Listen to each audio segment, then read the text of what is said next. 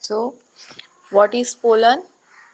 In simple words, pollen can be defined as a coarse powder, defined as a fine or a coarse powder. Pollen is a coarse powder which consists of microgametophyte and produce the male gamete on or the sperm cell. Pollen grain consist क्या करता है? Which consist of a microgametophytes and produce the male gametes. जो male gametes होते हैं, वो किसमें present होते हैं? पोलन ग्रेन में. और the sperm cells are present in the pollen grain then palynology is the branch of biology which mainly deal with the study of pollen and their properties जो हम पोलन से related सारी studies करते हैं, उस, वो किसमें आएँगी? पैलिनोलॉजी में आती है. So palynology is the branch of biology which mainly deal with the study of pollen and their properties okay? Then what are pollen grain पहले हमने देखे only pollen what is pollen तो pollen can be define as a fine और a coarse powder okay then what is pollen grain तो pollen grain are a microscopic structure एक microscopic structure होता है which bear androecium and male reproductive organ so which bear up androecium, a male reproductive organ of a flower. The interior section of pollen grain contains cytoplasm. जो interior section होता है pollen grain का वो क्या contain करता है cytoplasm along with the tube cell which convert into tube जो tube cell होती है वो किसमें कन्वर्ट होती है pollen tube and the generative cell release the sperm nuclei okay then structure of pollen grain pollen grain का structure कैसा होता है? तो pollen grain are a microscopic structure हम उसको माइक्रोस्कोप में ही देखते हैं ना। तो microscopic structure varying in their size and structure the size of pollen grain generally varies with the species overall the exact size of pollen. Pollen grain ranges between three to two hundred micrometre microns okay three to hundred micrometre उसकी size होंगी। The shape of the pollen grain is commonly found in round ovule triangular disc और in a bean shape different shapes होते pollen grain के। Commonly found in a round ovule triangular disc और in a bean shape okay with a smooth to spiky texture texture कैसा होता है उसका? तो smooth और a spiky texture The natural color of the pollen grain are white which may also varying depend on the plant species.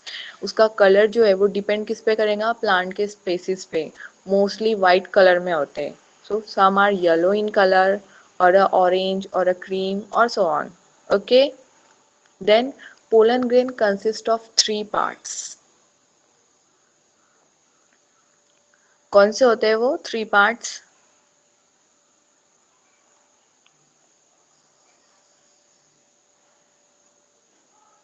Entine exine. Okay, entine exine. So the inside of the cell which is filled with the living cytoplasm.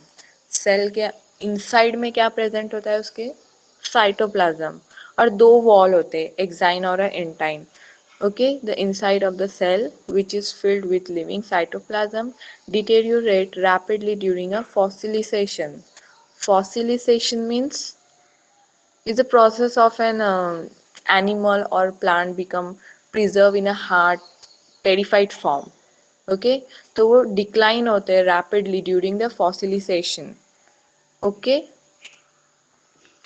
entine the inner layer of the cell wall comprises the cellulose and pectin the inner wall होती है cell की the inner wall layer of the cell wall comprises the cellulose and pectin similar to cytoplasm The intine also degraded rapidly during their fossilization. Exine, the outer layer, जो outer layer होती है वो exine होती है. So exine, the outer layer of the cell wall, mainly consist of sporopollenin.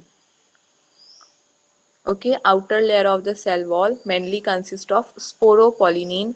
It is one of the most resistant substances. It is N-free polymeric substances belonging to the diverse classes of the organic compound called terpenes.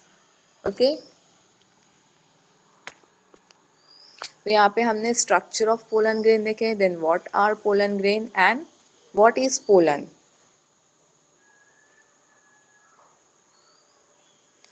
then function what is the function of pollen grain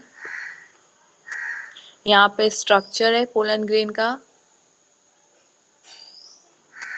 देखो outerly क्या present है? Outer layer it is called as exine then exine के बाद क्या है? Intine then, inside the pollen grain generative cells are present. Okay? और generative cells के अंदर क्या प्रेजेंट है? Generative nucleus then vegetative nucleus is present inside the pollen grain और जर्म पोर जो है जर्म पोर वो कहाँ पे प्रेजेंट है? एक्साइन वॉल के साथ में okay okay?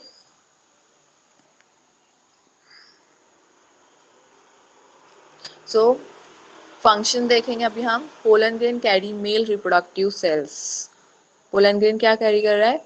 Reproductive cell that is gametes in a plant and are haploid microgametophytes their main function is the is in the transferring of the male gamete to their female counterpart means ovule क्या transfer करता है वो male gamete main function है उसका So ovule mean female reproductive cell. Okay. In the embryo sac, it thereby facilitate sexual reproduction to occur in the plants.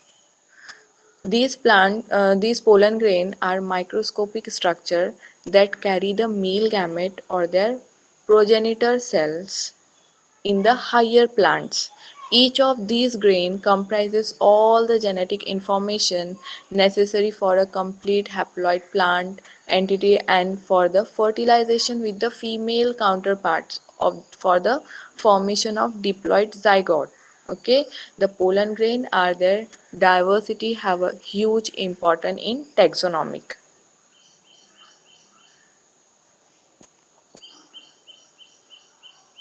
okay okay, तो हमने थोड़ा सा अभी पोलन ग्रेन की स्टडी की है कि what is pollen grain what is the function of pollen grain okay उसका स्ट्रक्चर भी मैंने आप लोगों को बताई हूँ यहाँ पे समझ में आया इतना? यस मैम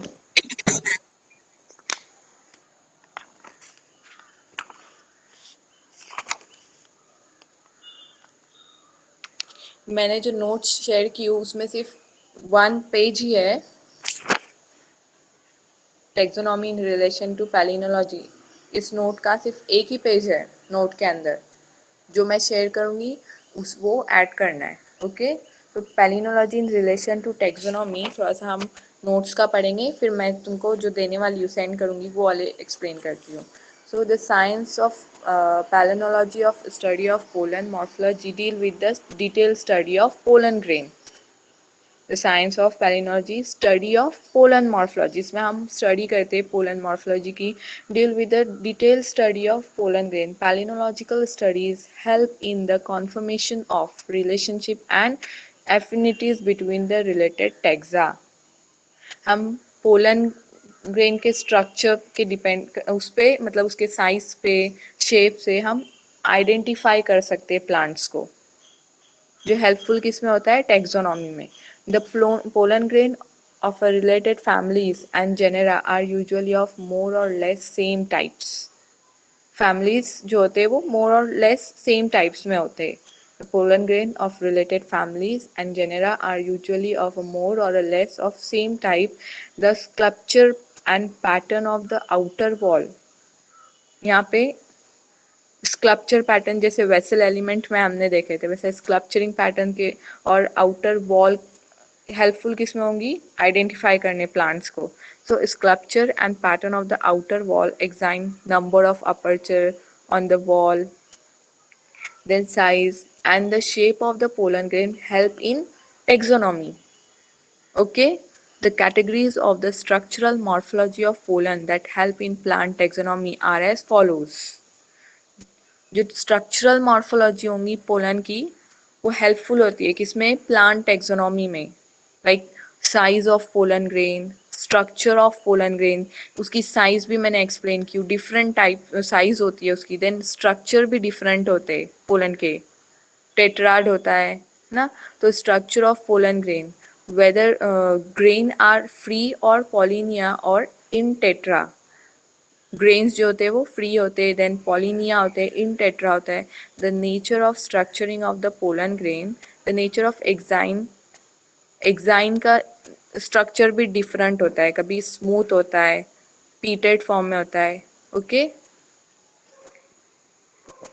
तो नोट्स में आप लोगों को सिर्फ़ इतना ही डिटेल दिया हुआ है।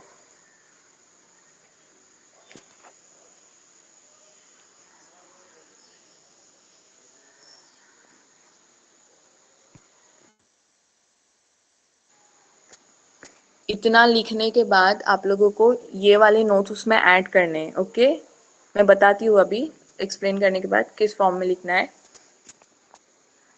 तो palynology is the science of pollen and spore its application it is derive from the Greek words palynein meaning to scatter palynein means scatter pollens क्या होते हैं? स्कैटर होते the significance of a pollen attribute in taxonomy has been realise during the last three decade Edmund in 1952 okay then Vaginites 1995 Sticks 1960 okay then ये थोड़ा सा introduction लिखना है उसमें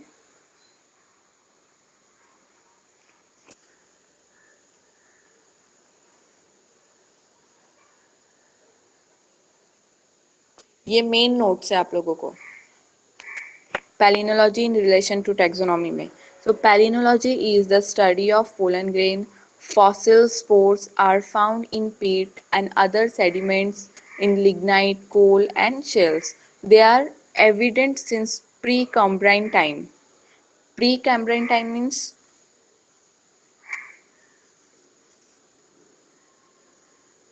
कौन सा होता है time Precambrian time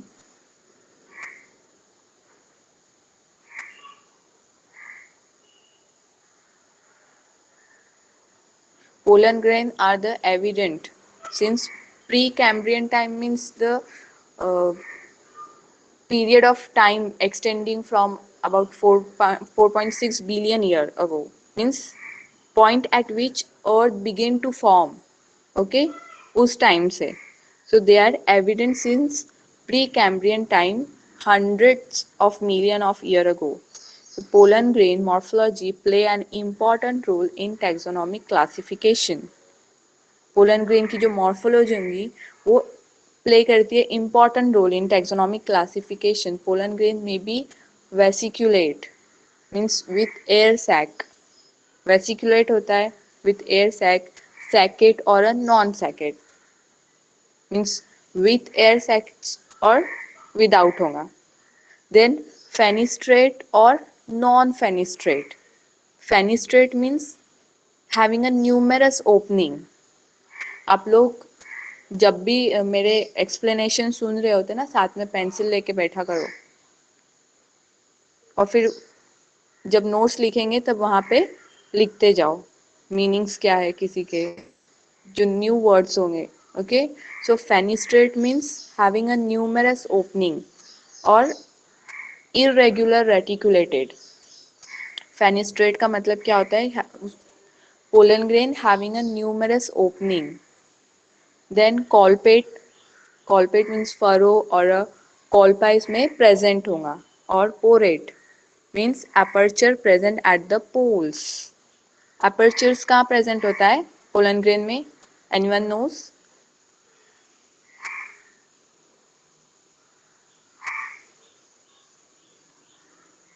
आप लोगों को समझ में आ रहा है ना what I am trying to explain you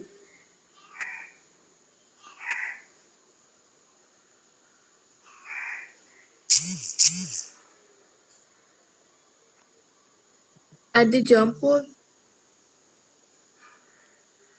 Aperture are a area on the wall of the pollen grain. Okay, where the wall is thinner or a soft, the aperture are the place where the pollen tube is able to break through a pollen wall. Okay. Aperture का कौन सी मतलब wall break होके जो pollen tube बाहर निकलती है it is called as aperture okay aperture are the place where the pollen tube is able to break through the pollen wall तो वो कहाँ पे प्रेजेंट होता है at the pole according to number position and character of aperture pollen are of different types means different types होंगे pollen pollen के means according to number position and character of the pollen so NPC is a number position and characters number में देखो one two many हो सकते. Then position proximal भी होंगी distal है zonal है और ग्लोबल अपर्चर की पोजीशन कैसी होंगी? प्रॉक्सिमल डिस्टल जोनल और ग्लोबल देन कैरेक्टर कॉलपेट है मींस फरो पोरेट सर्कुलर होंगी या फिर इन अपर्चरेट इन अपर्चरेट मींस वहाँ पे अपर्चर एबसेंट होगा. ओके मींस मोनोसल्केट फॉर्म में होता है वहाँ पे। So pollen character considered for a taxonomic analysis are, यानी इसके बेसिस पे हम आइडेंटिफाई कर सकते ये जो टाइप्स है डिफरेंट कैरेक्टर्स है, इसके बेसिस पे हम कर सकते हैं। इस तरह से पोलन फुल होता है आइडेंटिफाई करने प्लांट्स को। जो किसमें आता है टेक्सोनॉमी में। So pollen character consider for a taxonomic analysis are pollen unit type then pollen grain polarity उसकी होती है देन पोलन ग्रेन शेप है डिफरेंट शेप्स होते हैं। पोलन ग्रेन सिमेट्री है then pollen grain nuclear state pollen wall architecture exine stratification exine structure exine sculpture then aperture type जैसे मैंने ऊपर एक्सप्लेन की number position character so aperture type aperture number aperture position aperture shape and aperture structure okay समझ में आया point ये? Yes, pollen are generally pollen are generally associated in tetrad in angiosperm. Tetrad form में होता है? Okay? Means triangular form में so pollen are generally associated in tetrads in angiosperm among example of the role of pollen grain is systematic in Nilambu whose separation from Nymphaceae into a distinct family Nilambunaceae family head Nilambunaceae is largely supported by the tricolpate pollen of a Nilambu as against the monos, monosulcate condition. Monosulcate condition means where there is only one polar furrow. वहाँ पे only one polar furrow present होगा.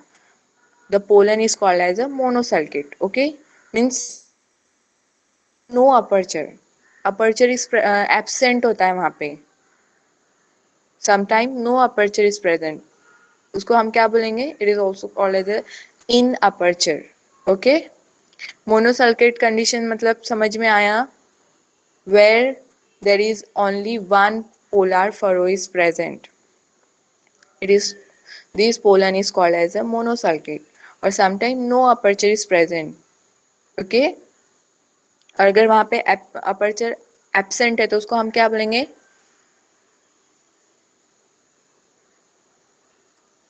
In aperture. In aperture, okay? So, monosulcate condition in nymphaceae nymphaceae family.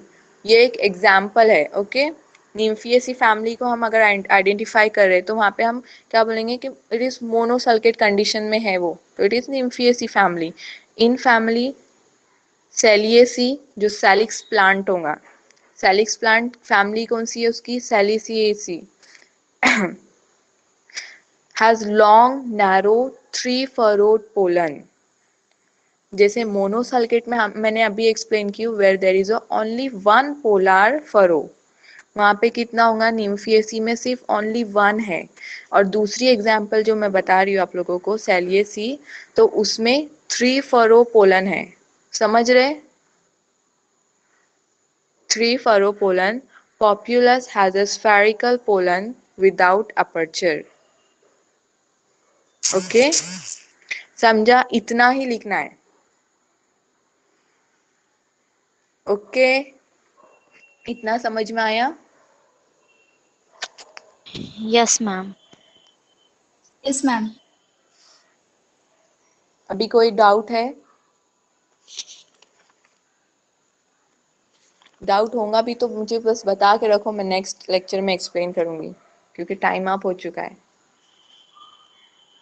बहुत easy है। कुछ, मुझे नहीं लगता कि कुछ डाउट होंगे आप लोगों को।